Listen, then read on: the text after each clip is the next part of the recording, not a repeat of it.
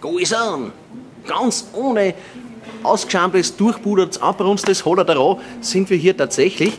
Das sind die Räumlichkeiten der ehemaligen Musikschule in Bad Gäusern. Mittlerweile gibt es eine neue.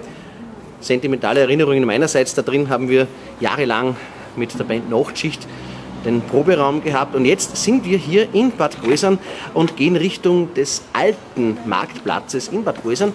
Dort wird nämlich heute Abend ein Konzert stattfinden. Wir sind an der Wiege zum Wonnemonat Mai und werden uns heute ein wonnigliches Konzert vergönnen. Sie sind leider nicht dabei, weil wenn Sie das sehen, dann ist das Konzert schon vorbei. Aber wir bieten Ihnen die Gelegenheit, heute eine wunderbare österreichische Musikerin kennenzulernen, die im Original aus Bad Gäusern stammt und heute quasi hier ein Heimspiel macht und das geschieht in einer Galeriebar, das gibt es wirklich, und zwar die Galeriebar 4822.